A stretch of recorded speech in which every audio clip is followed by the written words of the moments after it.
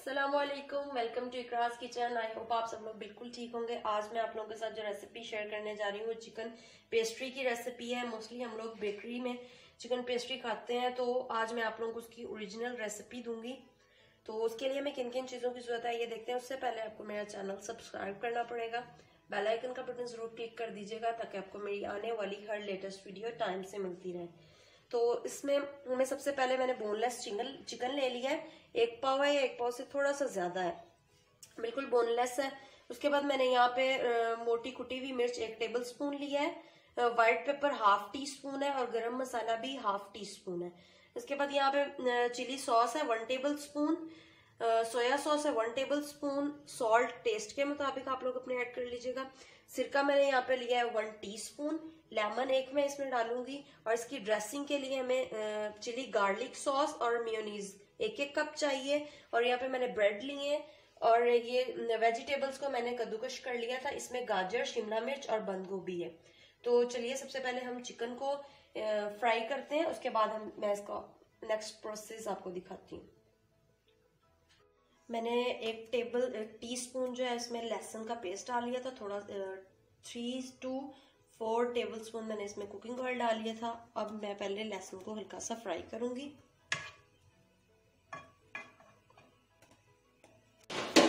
लहसुन जो है वो फ्राई हो गया तो मैं इसमें चिकन ऐड करूँगी।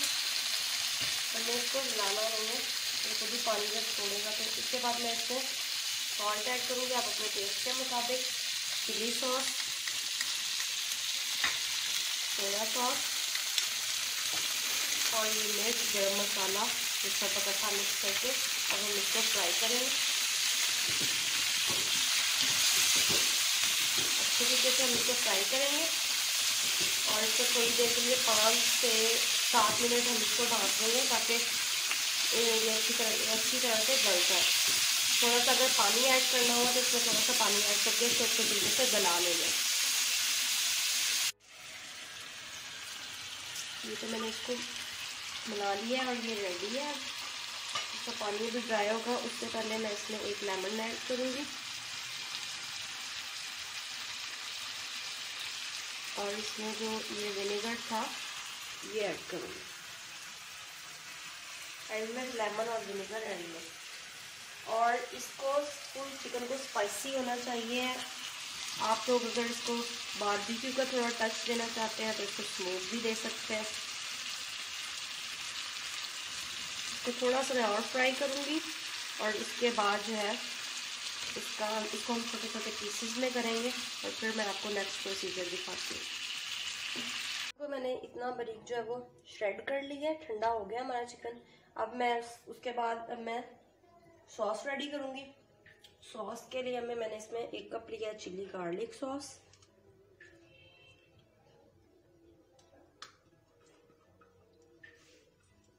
Chilli garlic sauce लिया एक कप और मेनीज लिया एक कप।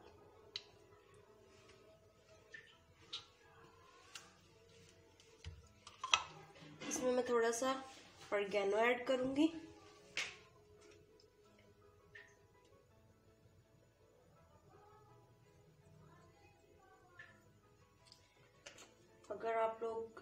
गार्लिक पाउडर ऐड करना चाहते हैं, आप वो भी कर लें सॉल्ट थोड़ा सा वरना चिकन ही इतना स्पाइसी है, अब हम इसको अच्छे तरीके से मिक्स कर लेंगे। अगर हमें कमियाँ ज़्यादा लगेगा, हम माइनीज और कैचअप थोड़ी सी और भी ऐड कर लें तो कोई मसला नहीं है।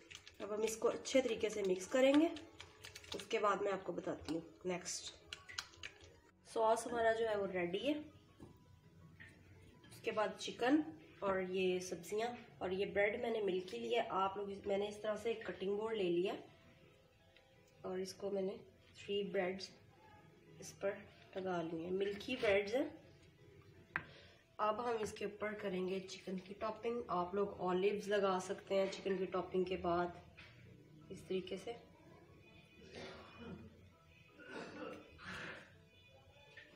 चिकन इसके ऊपर मैंने लगा लिया। अगेन इसके ऊपर ब्रेड रखेंगे। ब्रेड को मैंने साइडों से कट कर लिया था। अब मैं इसके ऊपर सॉस लगाऊँगी। इसके इसके ऊपर भर के हमने चिकन की टॉपिंग करनी है। आप लोग इसके ऊपर ऑलिव्स लगाना चाहते हैं, ऑलिव्स लगा लें। जो इसके अंदर आप लोग ऐड करना चाहते हैं, अपनी मर्ज़ी से आप लोग इसमें ऐड कर सकते हैं।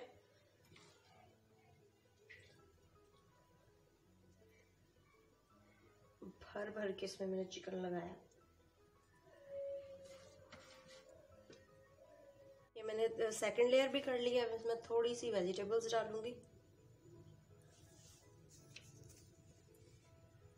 और फिर अगेन इस पे ब्रेड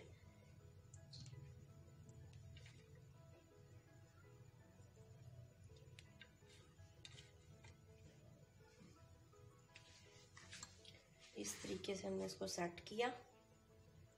अच्छी तरह हमने इसको दबा लेना।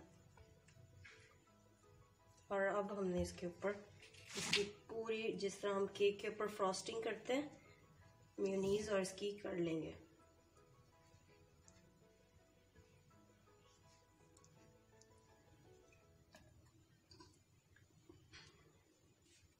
अच्छे तरीके से हमने इसकी फ्रॉस्टिंग कर लेनी है ऊपर से। चारों साइडों से हमने इसको कवर कर लेना है।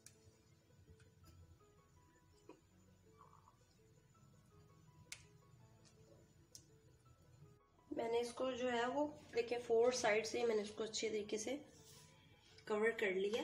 इस तरह कवर है ये सारा। अब हमने इसके ऊपर ये वेजिटेबल्स लगानी इस तरीके से सारी फोर साइड्स पर अच्छे तरीके से। एक्स्ट्रा भी ना हो, लेकिन हमने इसको सारे को कवर करना है वेजिटेबल्स के साथ।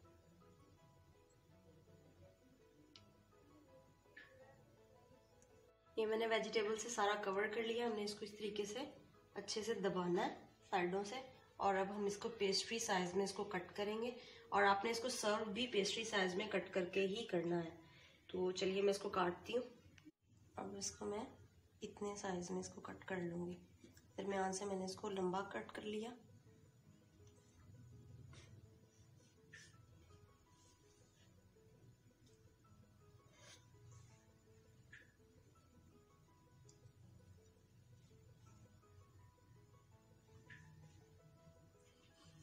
ये देखिए ज़बरदस्त सा।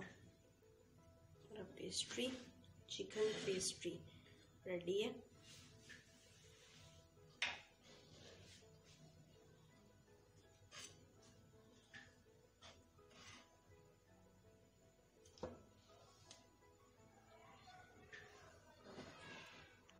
ये तो ये हमारा रेडी है। अब हम इसमें कैचअप डालेंगे। और इसके साथ सर्व करेंगे।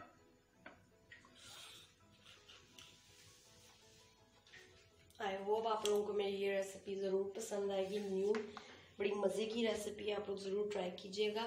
बच्चों के लंच बॉक्स के लिए भी बहुत मज़े की है। तो मेरे चैनल को सब्सक्राइब कीजिएगा बेल आइकन का बटन ज़रूर क्लिक कर दीजिएगा, ताकि आपको मेरी आने वाली हर लेटेस्ट वीडियो टाइम से मिलती रहे। ये इस तरह से आप बाकी की भी पेस्ट्रीज कट करके रख सकते हैं। मैंने जस्ट टू सर्विंग के वन सर्विंग के लिए टू पैट पेस्ट्रीज काटी थी। तो आप लोगों को आई होप ये पसंद आई। कमेंट सेक्शन में मुझे ज़रूर बताया करें कि आपको मेरी ये रेसिपी कैसी लगी। मुझे दीजिए इजाज़त। अपना बहुत सारा ख्याल रखिएगा। अल्लाह हाफिज़।